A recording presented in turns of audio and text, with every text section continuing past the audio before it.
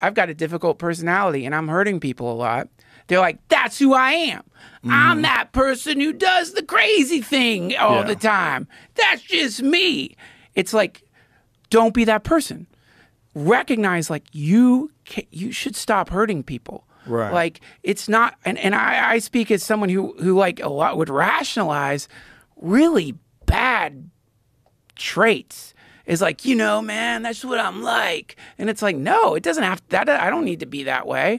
I don't need to be like a shit talker a gossip. I don't need to be someone who's like always mad at some certain person. I definitely don't need to be a person who like is passive aggressive or punishes people with anger or you know what i mean? I don't have to be that way. Of course. you know what I mean? Like, I don't have to be that way. All I have to do is start blowing dudes on fucking TV. I just like, it's funny though that you said that because it like get the vision like stuck in my head. It was weird, but you know what I mean, man. It's like that, that, that's all we have control over is like look at your own crazy fucking tyrant being, right? Like, look at your own monstrous thing that you've been pretending that's just me, man. That's what I'm like. That's me. And play around with the idea maybe that's not you.